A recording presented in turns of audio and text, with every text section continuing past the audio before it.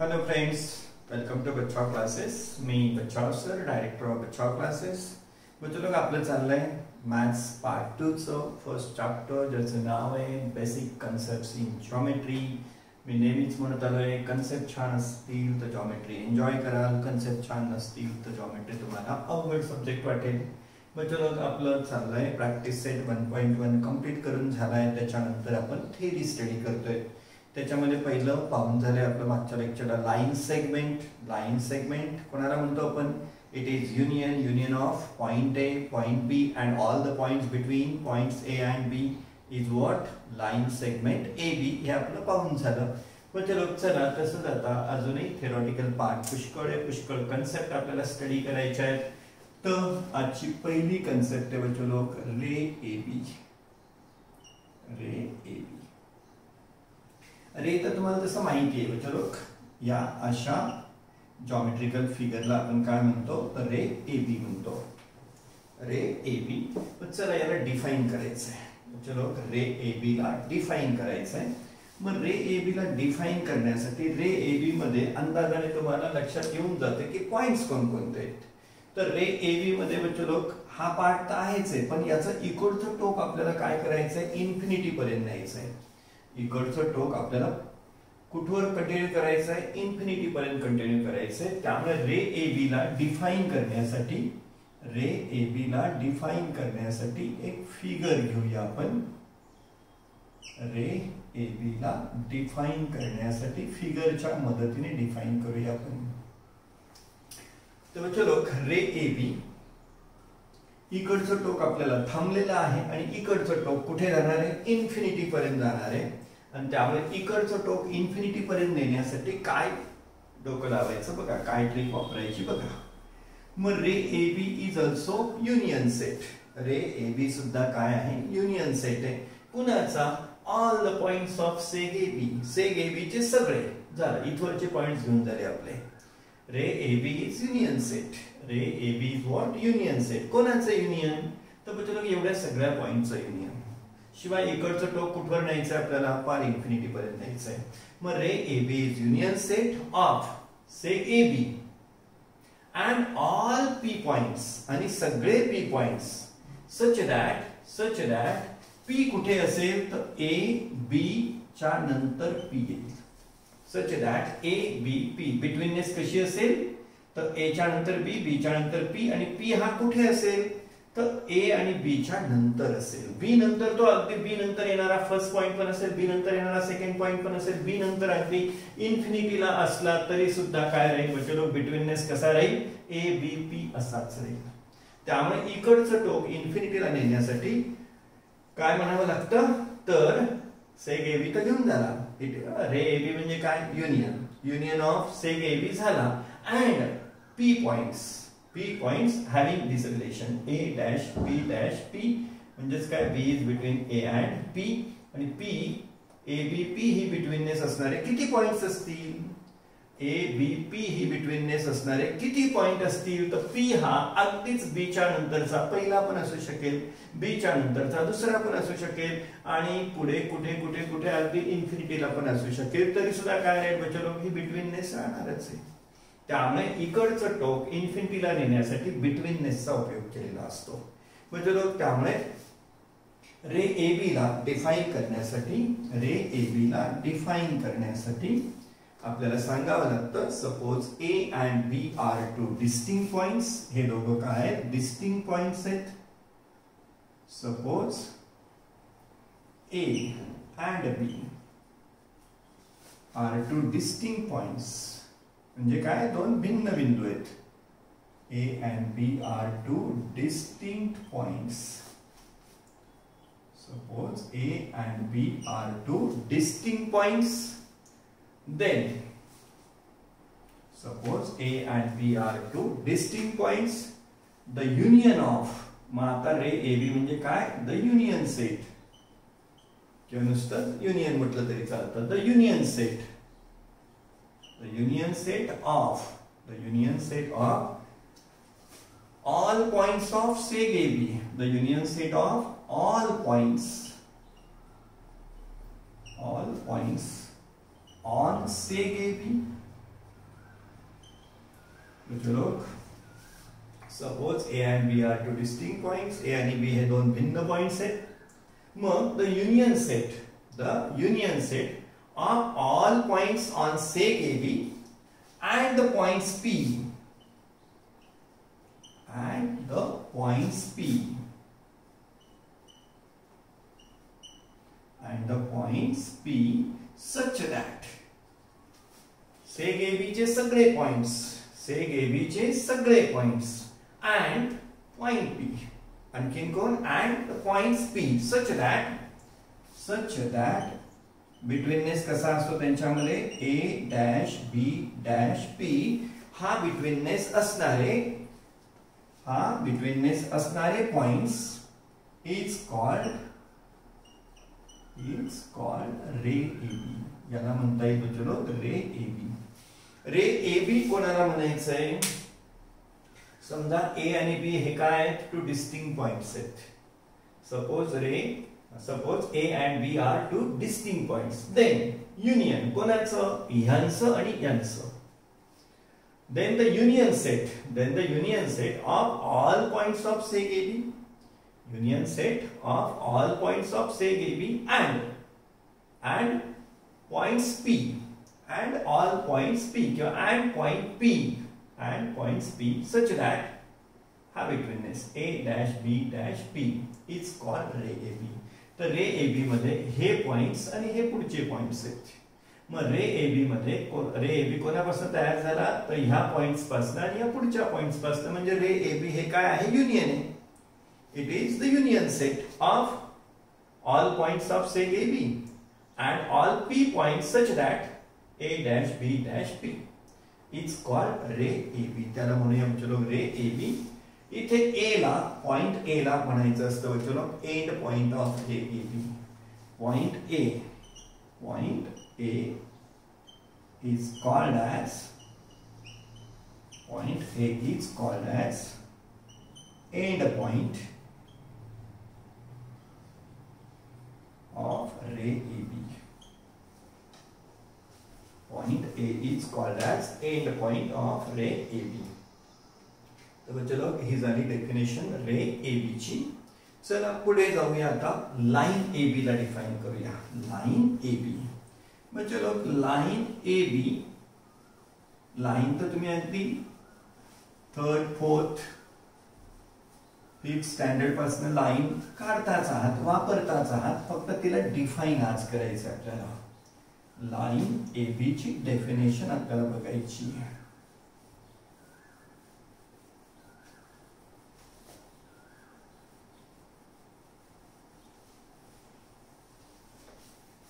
चलो line A B line A B चलो line A बी ची फिगर तर तुम्ही अशी काढता. लाईन ए बी ची फिगर तर तुम्ही अशी काढता. लाईन ए बी ची फिगर तर तुम्ही अशी काढता. हिला आपण म्हणतो साधारण लाईन ए बी मग बच्चे लोक लाईन ए बी म्हटलं तर काय आहे बघा? समजा इथे मी अजून एक पॉइंट घेतला. तर बच्चे लोक हा जो इकडचा रे आहे त्याला कंप्लीट इकडचा रे कसा आहे? तर अपोजिट आहे. हे दोन कसे हे दोन रेस कसे तर अपोजिट रेस आहेत. एक रे इकडे चाललाय एक रे इकडे चाललाय. तर हे दोन रे म्हणजे लोक कसे हे दोन रे समजा मी इथे पी नाव दिलं. तर पी बी आणि पी ए हे दोन रेस कसे आहेत बच्चे लोक तर अपोजिट रेस आहेत. मग ए बी दोन अपोजिट रेस पासून बनलेली आहे. त्यामुळे ए बी ला डिफाईन करताना सुद्धा बच्चे काय? ह्या सगळ्या पॉइंट्सचं काय? घ्यावं लागतं. काय? It is union set the union set of points of this ray and this ray त्यामुळे एखादी फिगर काढून बच्चे लोक आपल्याला लाईन ए बी ला डिफाईन करता येईल. लाईन ए बी सुद्धा काय?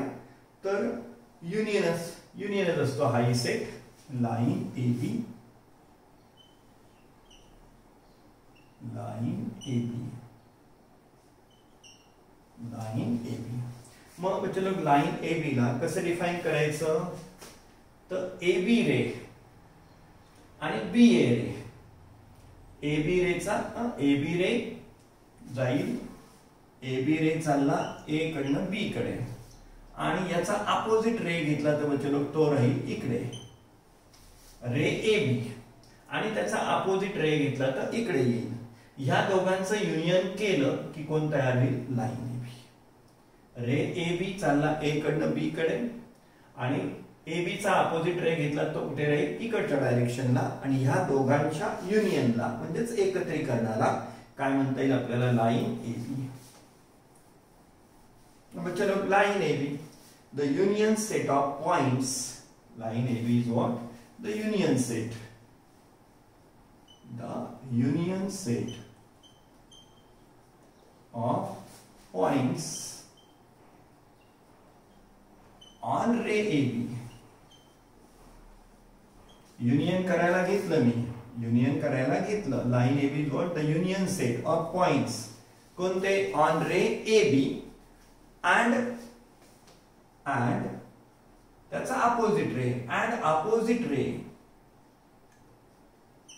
And opposite ray. कोणाचा? Of ray A B opposite ray of ray A B is called is called line AB. It's called line AB. चलो लाईन ए बी सुद्धा काय आहे? युनियन आहे. कोणाचं युनियन आहे? युनियन सेट कोणाचा आहे? तर पॉइंटचा line A B the union set of points line A B काय आहे? तर युनियन सेट कशाचा ते पण? पॉइंटचा आणि कोणते points on ray A B and opposite ray of ray A B of ray A B आणि रे ए बी चा opposite ray and opposite ray of ray A B is called line A B line A B the union set line A B काय आहे? The union set कशाचा? Of points कोणते points on ray A B on ray A B अजून? And points of opposite ray of ray A B opposite ray of ray A B is called line A B म्हणजे लोक line A बी आता जर आपण एवढाच घेतला segment A बी नुसता एवढा पार्ट घेतला विचारात तर सेगमेंट ए बी चे सगळे पॉइंट्स लाईन ए बी वर आहेतच. म्हणजेच काय होते लोक? Segment A B is subset of points of line A B seg A B चे जे पॉइंट्स आहेत सेग ए बीच्या पॉइंट्सपासून जो सेट तयार होईल. सेग ए बी काय असेल? Subset of line A B असेल. तसंच लोक रे ए बी सुद्धा काय असेल? रे ए बी सुद्धा काय असेल? Subset of line A B असेल. तर चलो हे झालं आपलं लाईन ए बी चला आता कॉन्ग्रियंट सेगमेंट्स पाहूया आपण. पुढची कन्सेप्ट आहे कॉन्ग्रियंट सेगमेंट्स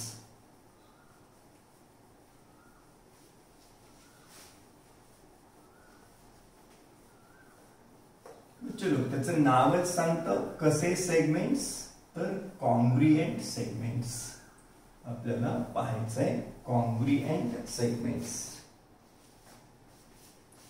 सिंपल कन्सेप्ट आहे चलो की कॉन्ग्रियंट सेगमेंट्स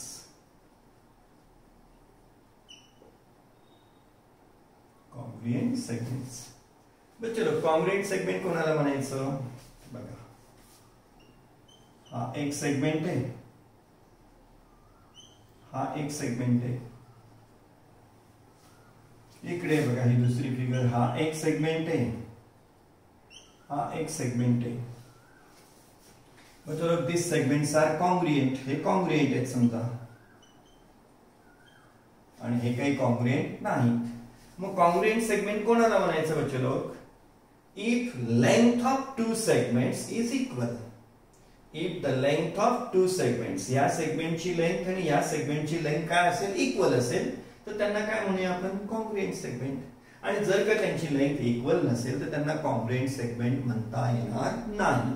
त्यामुळे लोक आपल्याला कॉन्ग्रिएंट सेगमेंट कोणाला म्हणायचंय? If length of two segments is equal then that segments are congruent segments congruent segment म्हणण्यासाठी त्या दोन सेगमेंटची लेंथ कशी पाहिजे लोक? तर इक्वल पाहिजे सेम पाहिजे. मग चला दोन सेगमेंट घेऊया. दोघांची लेंथ कशी घेतो? चलो सेम घेतो.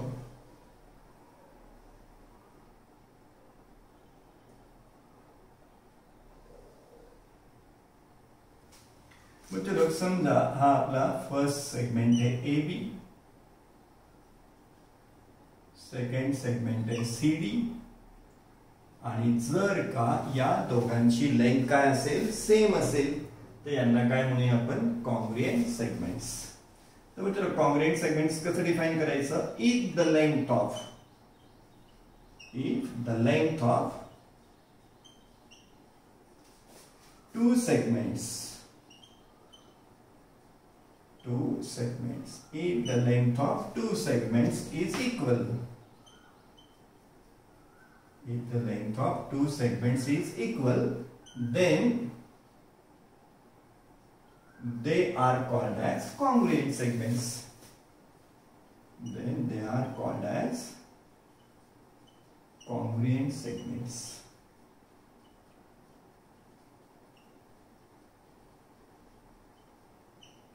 चलो if the length of two segments जर का दोन सेगमेंटची लेंथ कशी असेल equal then the segments are congruent then then they are called as congruent segments म्हणजेच काय म्हणतो लोक shortcut if length A B equal to length C D if length A B equal to length C D then हे segment कसे असतील congruent then seg A B is congruent to seg CD.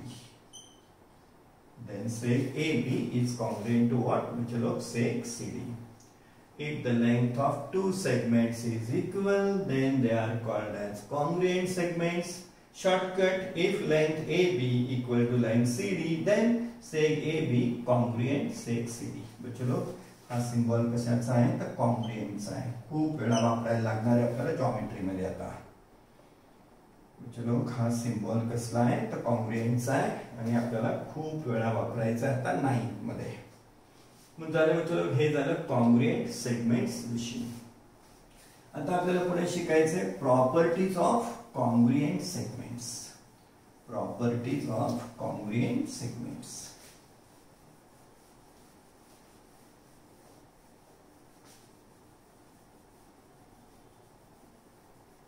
चलो पहिली properties of congruent segments शिकायचे आपल्याला काय? Properties of congruent segments चलो properties of congruent सेगमेंट्समध्ये तीन प्रॉपर्टीज आहेत. एकीचं नाव आहे रिफ्लेक्सिव्हिटी दुसरीचं नाव आहे सिमेट्री आणि थर्ड प्रॉपर्टीचं नाव आहे ट्रान्झिटिव्हिटी म्हणजे प्रॉपर्टीज ऑफ कॉन्ग्रियंट सेगमेंट्स त्यातली फर्स्ट प्रॉपर्टी आहे reflexivity.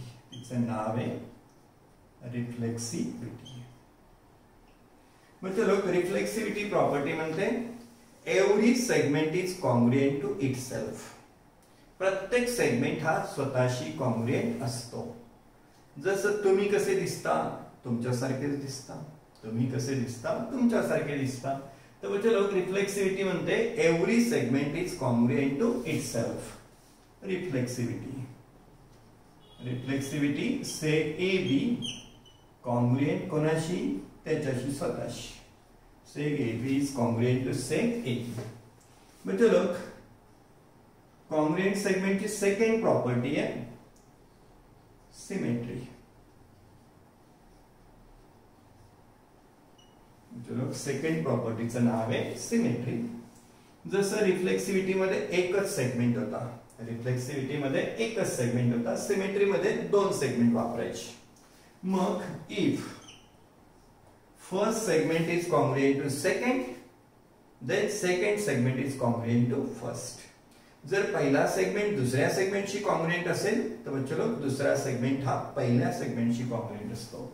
सिमेट्री म्हणतं if say A B if AB A B AB sec C D first segment is congruent to second.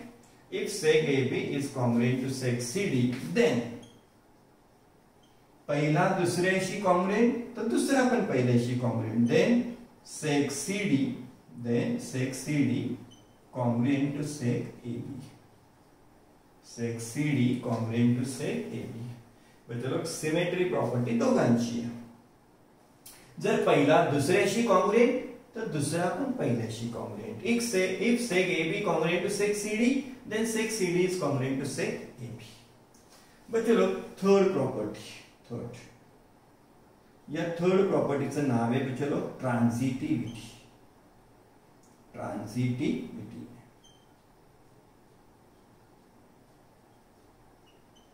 third property transitivity पहिल्या प्रॉपर्टीमध्ये एकच सेगमेंट यूज केला. दुसऱ्या प्रॉपर्टीमध्ये दोन सेगमेंट यूज़ केले थर्ड प्रॉपर्टीमध्ये तीन सेगमेंट यूज़ करायचे. थर्ड प्रॉपर्टीमध्ये तीन सेगमेंट चलो if first segment is congruent to second if seg A B congruent to seg C D पहिला कॉन्ग्रेंट आहे दुसऱ्याशी and second is congruent to third. And sec CD and sec CD is congruent to sec EF.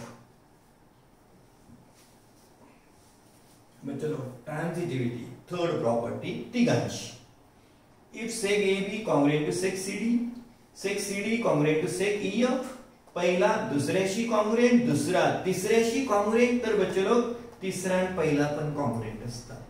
तर पहिला आणि तिसरा पण congruent असतात. Then set A B set A B is congruent to say EF F okay चलो या properties आपल्याला परीक्षेमध्ये विचारल्या पण जातात. या प्रॉपर्टीज परीक्षेमध्ये विचारल्या पण जातात. पहिली property properties of congruent segments पहिली प्रॉपर्टी रिफ्लेक्सिव्हिटी एकाच सेगमेंटची सेग A B congruent seg A B प्रत्येक सेगमेंट स्वतःशी कॉन्ग्रेंट असतो. प्रत्येक सेगमेंट स्वतःशी कॉन्ग्रेंट असतो. Seg A B is congruent to seg A B दुसरी प्रॉपर्टी म्हणजे सिमेट्री दुसरी आहे सिमेट्री ही दोन सेगमेंटची प्रॉपर्टी आहे. If seg A B is congruent to seg C D then seg C D is congruent to seg A B जर पहिला सेगमेंट दुसऱ्याशी कॉन्ग्रेंट असेल तर दुसरा पण पहिल्याशी कॉन्ग्रेंट असेल. ही सिमेट्री प्रॉपर्टी म्हणजे थर्ड प्रॉपर्टी आहे ट्रान्झिटिव्हिटी ट्रान्झिटिव्हिटी ही प्रॉपर्टी कितीची आहे? तिघा सेगमेंटची if seg A B congruent to seg C D and seg C D congruent to seg E F जर पहिला सेगमेंट दुसऱ्याशी कॉन्ग्रेंट असेल दुसरा तिसऱ्याशी कॉन्ग्रेंट असेल तर पहिला कॉन्ग्रेंट असतो. ही ही प्रॉपर्टी सांगते चलो, या प्रॉपर्टीची नावं. पहिली रिफ्लेक्सिव्हिटी दुसरी सिमेट्री तिसरी ट्रान्झिटिव्हिटी हे कसं लक्षात ठेवायचं? पहिली प्रॉपर्टी रिफ्लेक्सिव्हिटी दुसरी सिमेट्री तिसरी ट्रान्झिटिव्हिटी हे कसं लक्षात ठेवायचं? तर म्हणजे लोक तुम्ही एबीसीडी म्हणा बरं. एबीसीडी सगळे अल्फाबेट्स म्हणा बरं. ते A B C D E F G H I J K L M तर झेड पर्यंत. मग तुमच्या असं लक्षात येऊन जाईल म्हणजे पहिल्यांदा आर येतो. पहिल्यांदा आर येतो. मग एबीसीडी म्हणताना यस येतो आणि मग शेवटी कोण येतो? टी येतो. एबीसीडी म्हणताना पहिल्या क्रमाने म्हणताना काय येईल म्हणजे आधी आर येईल मग यस येईल मग टी येईल. म्हणून पहिली प्रॉपर्टी लक्षात ठेवताना काय? एबीसीडी क्रमाने म्हणा पहिली प्रॉपर्टी काय? रिफ्लेक्सिव्हिटी दुसरी कोण आहे? सिमेट्री तिसरी कोण आहे? ट्रान्झिटिव्हिटी एखादा मुलगा म्हणेल सर मी वेगळ्या पद्धतीने लक्षात ठेवेल. तर सर सिमेट्री मध्ये यस येतो म्हणून मी म्हणेल symmetry second property sir transitivity मध्ये टी येतो म्हणून ट्रान्झिटिव्हिटी टी येतो म्हणून थर्ड प्रॉपर्टी आणि उरलेली रिफ्लेक्सिव्हिटी काय म्हणेल? मग मी फर्स्ट प्रॉपर्टी म्हणेल. तर बच्चा लोक पहिली प्रॉपर्टी लक्षात ठेवण्यासाठी एबीसीडी म्हटलं तरी चालेल. एबीसीडी म्हणताना लक्षात येतं आधी आर येईल मग यस येईल मग टी येईल. पहिली प्रॉपर्टी आपली रिफ्लेक्सिव्हिटी दुसरी सिमेट्री तिसरी ट्रान्झिटिव्हिटी रिफ्लेक्सिव्हिटी एकाच सेगमेंटची every segment is congruent to its symmetry दोन सेगमेंटची आहे first segment is congruent to second then second is congruent to third मग तुला ट्रान्झिटिव्हिटी ही तीन सेगमेंटची प्रॉपर्टी आहे. If first segment is congruent to second and second segment is congruent to third then third segment is congruent to first ट्रान्झिटिव्हिटीमुळे आपल्याला किती पण ती लांबवता येते बच्चो थर्ड सेगमेंटच नाही. अशा पुढे अजून पेयर्स असल्या तर पहिला आणि शेवटचा सेगमेंट काय असतो? कॉन्ग्रिएंट असतो. तर बच्चो हे झालं आपलं प्रॉपर्टीज ऑफ कॉन्ग्रिएंट सेगमेंट्स परीक्षेला विचारलं जातं. Right the properties of congruent segments बच्चो अजूनही आपली थेरी बाकी आहे. अजूनही याच्यापुढे थेरी काही कन्सेप्ट बाकी आहे तर त्यांना आपण स्टडी करूया पुढच्या लेक्चर्समध्ये बच्चे चलो जर का हा व्हिडिओ हे व्हिडिओ लेक्चर तुम्हाला आवडलं काय करा? लाईक करा. आपलं चॅनल बच्चा क्लासेस सबस्क्राईब करा. इवन या व्हिडिओची गरज तुमच्या इतर मित्रांना सुद्धा असू शकते भासू शकते कारण तेही नाईन्थमध्ये आहे. तर बच्चे हा व्हिडिओ तुम्ही त्यांना शेअर पण करू शकता. बच्चे लोक भेटूया आपण पुढच्या लेक्चरमध्ये